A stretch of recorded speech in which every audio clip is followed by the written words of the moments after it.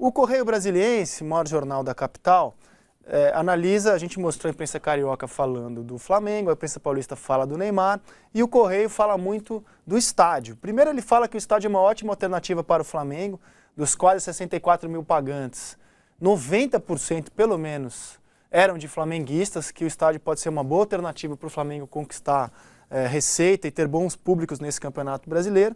E a manchete onde o calo apertou é o que deu certo, o que não deu certo. Várias coisas não deram certo, a começar pela venda de ingressos, que foi uma vergonha ao longo da semana. Embora o Estatuto do Torcedor obrigue cinco pontos de venda, a venda começou com só um ponto em Brasília, depois passou para três, filas de três horas. O jornal até especula que a lotação máxima, é, que é de 69,200, não foi atingida porque muita gente desistiu de comprar o ingresso, estava o inferno para comprar o ingresso. Até quem comprou pela internet tinha que ficar três horas na fila para trocar o seu ingresso. E aí houve um teste de evento FIFA. Hoje o estádio é entregue para a Copa das Confederações e o evento FIFA, por exemplo, não prevê é, torcida separada. As autoridades de Brasília, no caso, atentaram contra o evento teste quando colocaram a torcida organizada do Santos separadamente no lugar. É, tivemos problemas de acesso de transporte ao estádio e como em todos os eventos FIFA de Copa do Mundo, Copa das Confederações, o entorno do estádio, ele já, o, o, esquema de segurança já começa no entorno do estádio. Você tem que passar por uma série de revistas e detectores de metal. Havia 90 detectores de metal. O número se provou insuficiente. Para a Copa das Confederações, esse número vai ter que aumentar para mais de 100. Muita gente só conseguiu entrar no jogo com a bola rolando. A abertura dos portões também sofreu atraso, estava prevista para uma da tarde. Os portões só foram abertos a 1h40. Muita gente entrando é, no fim do primeiro tempo no estádio. E aí o, tudo isso se explica pelo, pelo quê?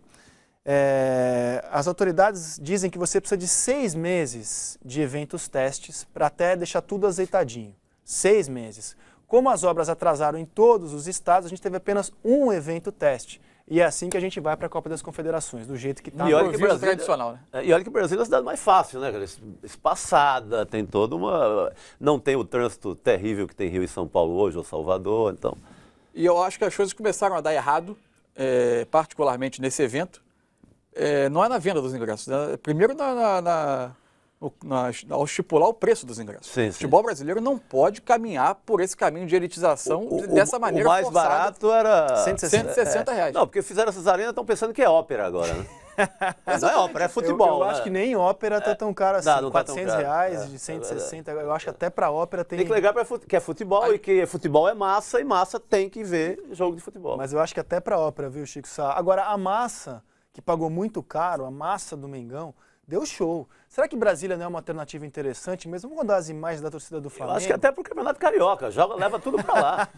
Pô, aqui não, com, primeiro... com, mil pessoas em campo, leva é, Eu acho lá. que existe, existe uma série de dúvidas aí. É... Primeiro que é, por trás de um clube de futebol é, existe uma alma. E essa alma é a torcida que historicamente carrega esse time nas costas. É. E o Flamengo é um clube do Rio de Janeiro ele pode ver outros centros como alternativas eventuais, não como uma regra sim, geral sim, de vida.